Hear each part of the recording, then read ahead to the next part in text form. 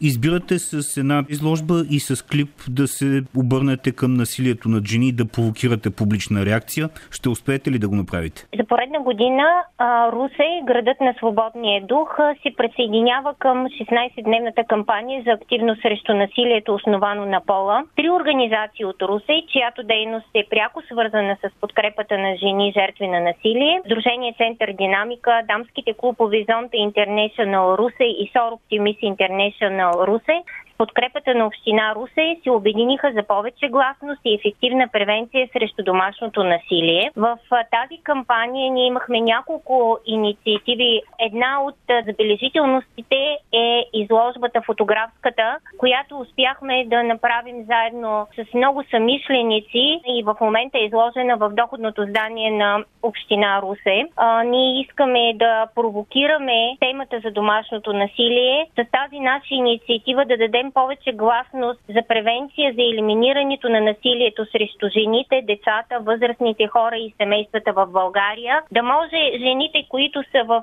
такава ситуация да се осмилят и да потърсят помощ, защото в България има закон за защита от домашното насилие, има социални услуги, има кризисни консултативни центрове, които подкрепят жените и децата и семействата, които са в тази ситуация на актове на домашно насилие. Какво сочат и статистиките и разказите на хората, с които работите? През последните години в България се отчита сериозен ръст на убийства на жени, отчитат се сериозно увеличение на работата с пострадалите в консултативните и кризисни центрове, също и сериозно увеличение и ескалация на домашното насилие от началото на пандемията. Малко статистика ще ви кажа, която е официална. От началото на годината най-малко 20 жени са убити от техните интимни партньори. През 2019 година са извършени общо 80 убийства, 25 са на жени. Две трети от тях са отбити от най-близките си хора – съпрузи, партньори или роднини, показват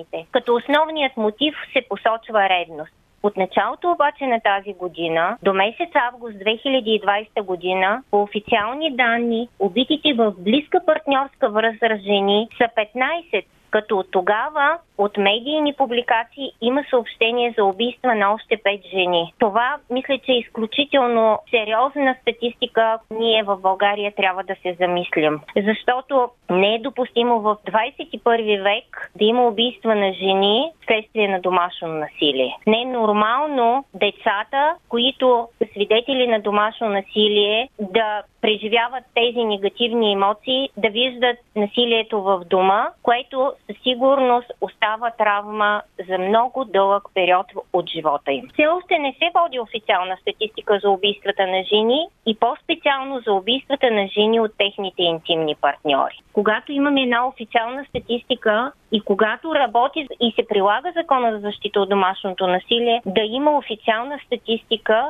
и да се търси вече отговорността и услугите, които трябва да бъдат не само в областните градове, а да бъдат навсякъде, за да може хората да търсят помощ и подкрепа. През тази година колко жени потърсиха подкрепа от Сдружение Център Динамика в Руса и успяхте ли да помогнете на всички тях? Нашата организация е част от една национална мрежа, нарича се Сдружение Алианс за защита от насилие, основано на пола. Ние членуваме 12 организации в този алианс и благодарение на национална телефонна линия 0811 977 ние предоставяме безплатни консултации на пострадали от домашно насилие, което мисля, че е изключително важно там, където няма консултативни центрове, там, където жените не се осмеляват да потърсят помощ, да ни потърсят нас на тази денонощна линия за професионална подкрепа на жертви на домашно насилие. За Русе от 6 години функционира функционира като държавно делегирана дейност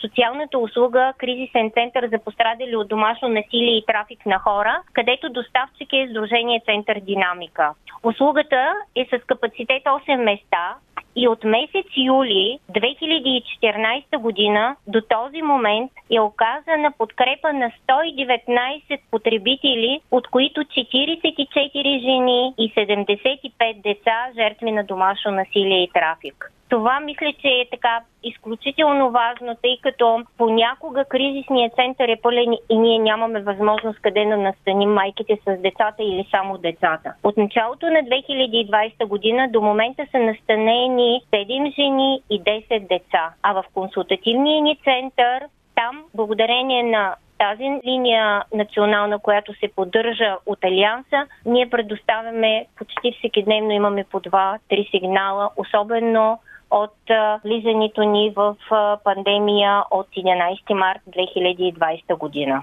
Навярно, за да се разрешат част от тези проблеми, са нужни повече инвестиции в социални дейности. Навярно е нужна и повече грижа за семейството. Може би по различен начин трябва да работи и полицията. Усилията трябва да бъдат насочени от всички нас като граждани, като гражданско общество, за да можем да помогнем както на семейства, така и на отделни членове на семейства, които са жертви на домашно насилие. Трябва да говорим за насилието, да се подават сигнали, да се търси помощ и подкрепа, да се увеличават социалните услуги на тази целева група в страната. Изключително важно е да съхраним психичното здраве, за да можем да продължим напред. Това за мен са най-важните неща, защото, повярвайте, от началото на пандемията, ако случаите са били в миналата година, примерно за Алианса, нали, една cifra chegar три пъти са се увеличили и повече от началото на пандемията. Затова изключително важно е с оглед психичното здраве на жените, на децата, на възрастните хора, ние да си обединим усилията, а не да бъдем пасивни, защото в съседния апартамент ние чуваме, че стават скандали. Но когато дойдат и ни попитат, голяма част от хората казват, че чуват нещо, но не искат да бъдат ангажирани или те само са чули, но не знаят точно какво се е случило.